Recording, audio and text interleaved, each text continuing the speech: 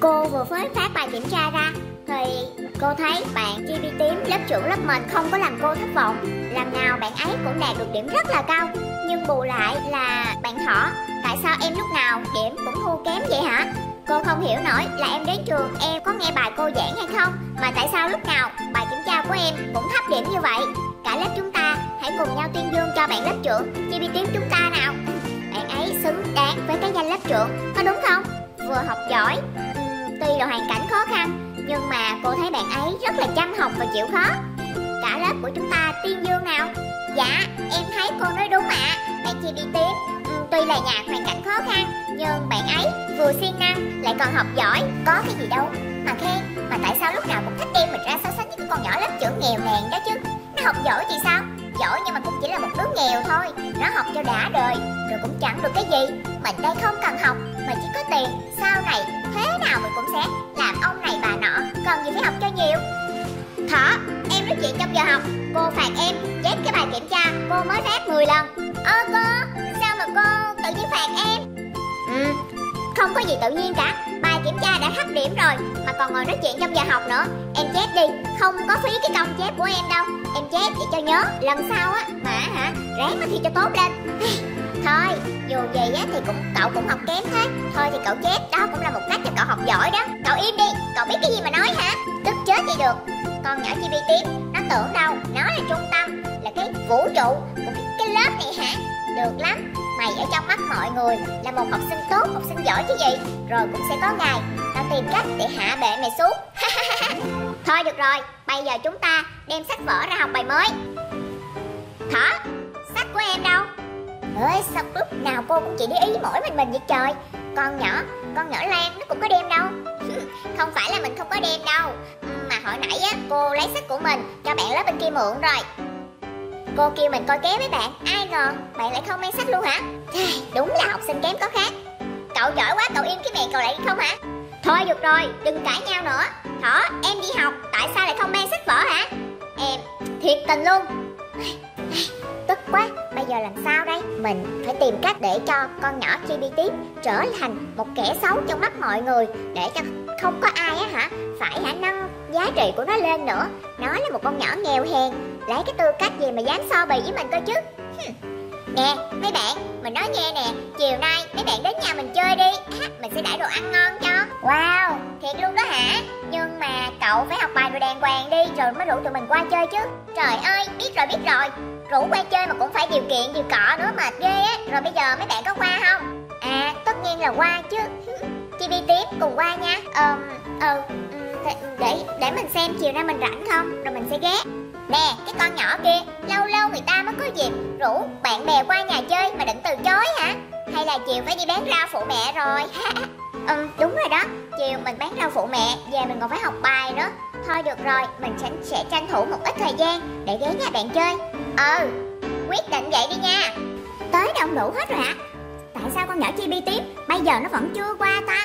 Không được nó nhất định phải đến chi bi tím chắc là không qua đâu. Khỏi đợi đi, tụi mình ăn trước đi tôi đói lắm rồi. Không có được, phải đợi qua chứ. Cùng là bạn bè với nhau mà. Chà, nay thỏ nhà ta. Bài đặt tốt với chi bi tím dữ à. Thôi, đợi thì đợi thôi. Nhưng mà nửa tiếng nữa thôi nha. Chi bi tím mà không tới là tụi mình ăn trước đi. Bạn ấy á ừ, công nhận là giỏi với xiên thiệt. Học trên lớp rồi còn về phụ mẹ bán rau tối lại học bài cậu ấy học giỏi ơi là giỏi công nhận là mình nể thiệt. Thôi được rồi cậu đừng có khen người khác nữa được không? Bực cả mình. Thì khen đúng mà. Ê, mà xin lỗi các cậu nha mình tới muộn. Tại vì mình mình hôm nay mẹ mình bán ế quá mình phải ráng ở lại phụ mẹ bán cho hết. Trời đi đâu vậy? Làm cái gì mà đeo một cái ba lô chà bá ê đừng có nói sách ba lô này để đi ăn cắp đồ nhà tôi nghe chưa? Ờ không có vì mình thêm theo sách vở để ra đó, vừa ngồi bán phụ mẹ, vừa học bài. Chứ mình sợ về trễ lại không có thời gian học đó mà. À vậy đó hả? Ai biết đâu. Mình cứ tưởng. Thôi, được rồi thỏ. Công nhận là chi bi tiếng bà xiên có giỏi ghê á. Thôi, bây giờ tụi mình ăn đi. Khoan, chưa? Bây giờ còn thiếu một số món á, nhưng mà một mình tôi dọn là không có họ hết. Bây giờ mấy bà, phụ tôi xuống dưới bếp dọn lên nữa nha ừ thôi được rồi để tôi dọn xuống dọn lên cho mấy bà ngồi chơi đi. Thôi để tụi tôi đi phụ luôn cho nó nhanh. Ừ đúng rồi đó đi xuống phụ hết đi. Nè chi tiếp cậu bỏ cái ba lô này đi. Tính thấy cái ba lô này xuống dưới bếp tôi hả? Ờ, ờ ờ ờ mình xin lỗi mình quên ha. Để trên ghế đi. Chà đây là cái tủ của mẹ có tiền nè. Mình sẽ lấy tiền bỏ vô ba lô của nó. Như thế nó sẽ trở thành một kẻ ăn trộm. Từ đó các bạn sẽ không còn khen ngợi mày nữa. Hmm, bây giờ mày sẽ trở thành một tên ăn cắp rồi. Xong bây giờ bánh đều đem lên hết rồi chúng ta cùng ăn nhau ăn thôi. Trời đất ơi tiền của tôi đâu rồi? Hả? Cái gì vậy hả mẹ? Tiền của mẹ đâu? Hả? Tại sao mới lúc nãy mẹ mới nhét tiền vô bây giờ lại thiếu mất một tờ rồi?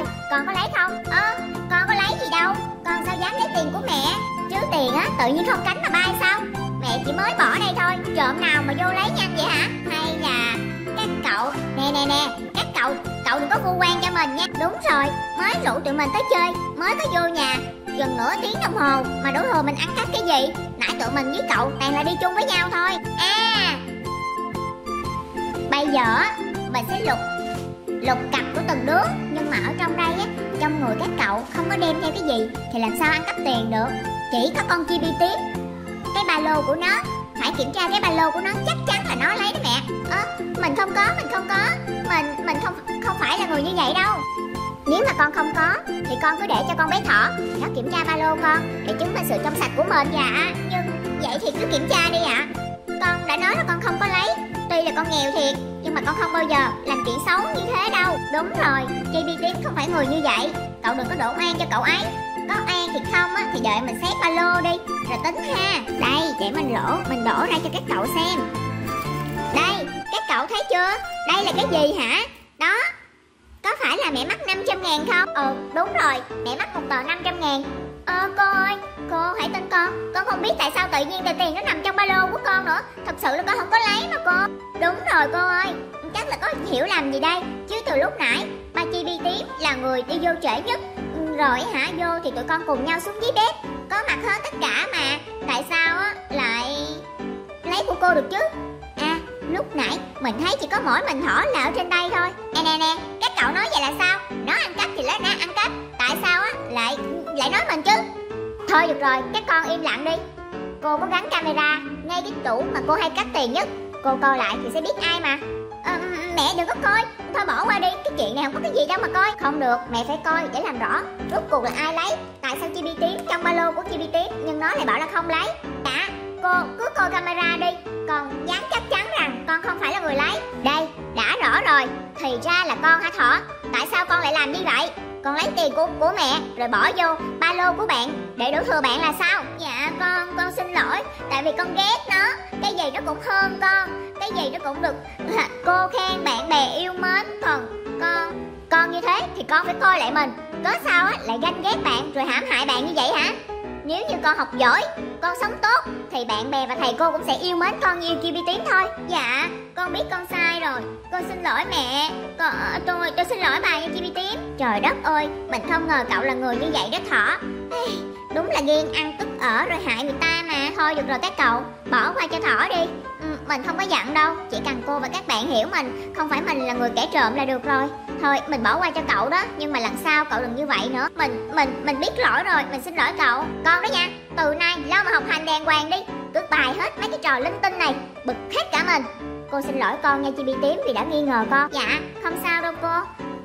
Ai mà không như vậy? Khi thấy đồ vật của mình nằm trong ba lô kẻ đó, thì tất nhiên là phải nghi ngờ kẻ đó là trộm rồi cô. Ờ cô, thôi các con ăn bánh đi. Tôi xin lỗi từ nay tôi sẽ không như vậy nữa đâu. Ta-da! và thế là câu chuyện của chúng ta đến đây cũng đã kết thúc rồi. Và đương nhiên là cái vấn đề mà khi mà ghen ăn tức ở với bạn à, bạn bè là một điều rất là bình thường và hay xảy ra à, trong cuộc sống của chúng ta lắm. Nếu như chúng ta thua kém họ thì chúng ta đừng bao giờ hãm hại họ mà hãy bằng cách vươn lên bằng chính thực lực của mình. Thì lúc đó mình sẽ được mọi người chú ý đến hiểu chưa? Còn bây giờ thì bye bye và hẹn gặp lại các em ở câu chuyện sau.